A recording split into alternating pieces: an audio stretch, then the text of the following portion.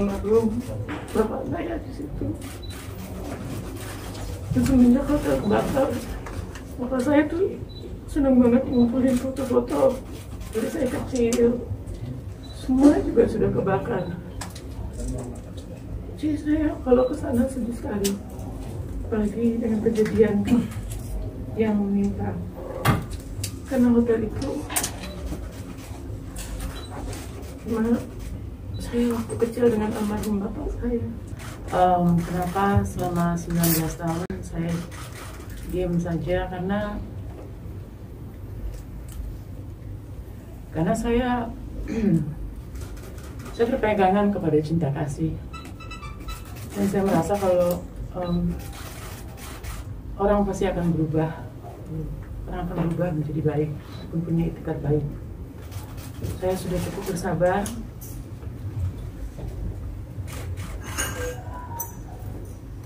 saya sudah cukup bersabar selama 19 tahun. Tapi ketika um, tahun 2020 ada pengusaha yang datang ke Bali mengatakan bahwa uh, harus menandatangani surat utang dengan jaminan hotel begitu dan itu menurut saya sudah sangat keterlaluan sangat tidak manusiawi. Untuk itu saya sebenarnya ingin menyelesaikan masalah ini dengan baik-baik tapi saya sudah tidak bisa apa-apa lagi. Berusaha baik malah diginiin terus.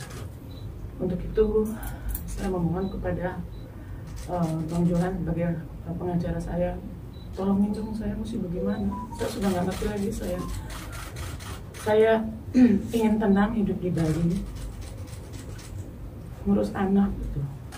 Saya sama sekali tidak mengerti masalah ini. Sampai berlarut-larut apa yang harus saya lakukan bang? Bagaimana saya bisa mendapatkan keadilan? Agar supaya masalah ini mudah-mudahan saya diberi umur panjang. Tidak sampai ke anak saya nanti. Terus-terus dibebani utang. Terus-terus dibebani utang. Ini kita sama sekali tidak tahu menang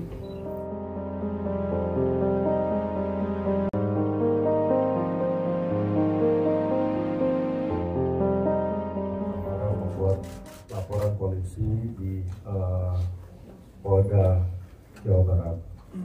Adalah benar pada tanggal 6 Desember 2021 Tamara membuat laporan polisi melalui kuasa hukumnya atas dugaan tindak pidana eh, penggelapan yang dilakukan oleh pengurus perusahaan PT Hotel Bukit Indah Puncak.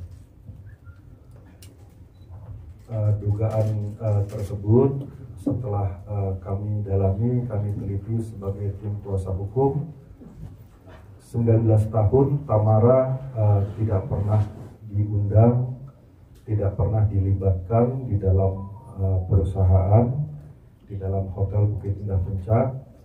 Tamara mendapatkan eh, haknya sebagai pemegang saham di hotel Bukit Indah Puncak berdasarkan dari waris bapaknya. Ya, laporan yang juga di- dilakukan oleh pengurus tersebut didasari pada suatu hari tiba-tiba datang pengurus hotel ke rumah Tamara di Bali untuk menandatangani sebuah surat pinjaman, sebuah eh, surat hutang. Tamara merasa ini ada yang salah. Kenapa eh, surat hutang dengan jaminan sertifikat hotel yang nilainya berkali-kali lipat dari pinjaman? Eh, berdasarkan dari situ Tamara membuat eh, pemikiran untuk mem- membentuk tim hukum dan berdiskusi dengan kami. Dasar itulah kami membuat laporan polisi atas dugaan tindak pidana tersebut. Kalau memang keluarga harusnya eh, menjaga Tamara ya jadi yang kita laporkan adalah pengurus-pengurus perusahaan eh, siapa pun yang ada di situ eh, itu ada dalam struktur ya. Inisialnya mungkin Eh, mungkin eh, kita tidak sebut nama nanti biarkan proses hukum ya. Berarti tiga nama yang kita eh, laporkan